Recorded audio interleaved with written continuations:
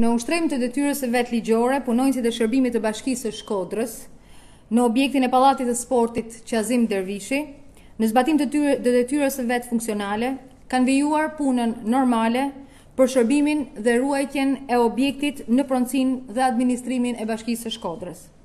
Gjatë ushtrimit të detyrës, punonjësit e sipërpërmendun ditën e sotme janë shantazhuar nga disa persona civilë që janë prezantuar si punonjës të Policisë së Shtetit.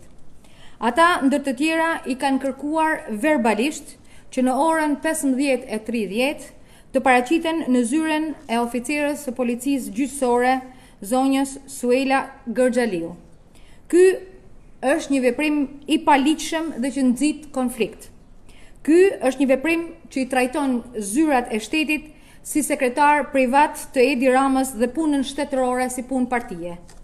Nëse organi i prokurorisë ka ndonjë kërkesë ligjore lidhur me veprimtarinë e Bashkisë së Shkodrës, i kërkoj zyrtarisht që të na informojë sipas procedurave të përcaktuara dhe të qarta. Nëse persona civilë, të prezantuar si punonjës policie, kanë keqpërdorur emrin e Prokurorisë, i bëj thirrje oficeres së Policisë Gjyqësore, zonjës Suela Gërxhaliu, të zbatojë menjëherë ligjin dhe të marrë nën përgjegjësinë me përgjegjësi penale personat që kanë abuzuar me detyrën nën emrin e saj.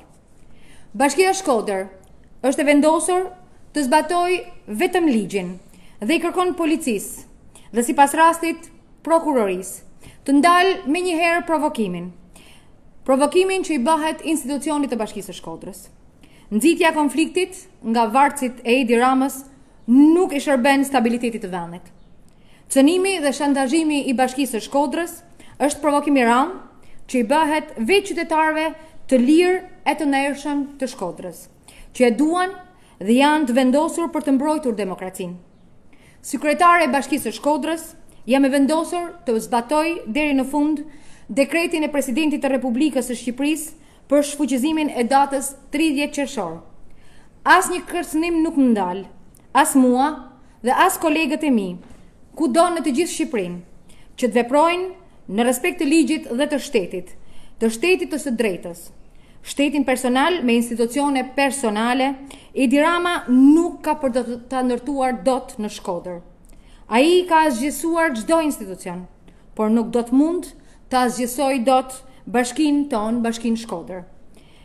Ajo është e të gjithë qytetarëve, është e qytetarëve që e kanë zgjedhur dhe e zgjedhin dhe janë për zgjedhje të lira dhe të ndershme.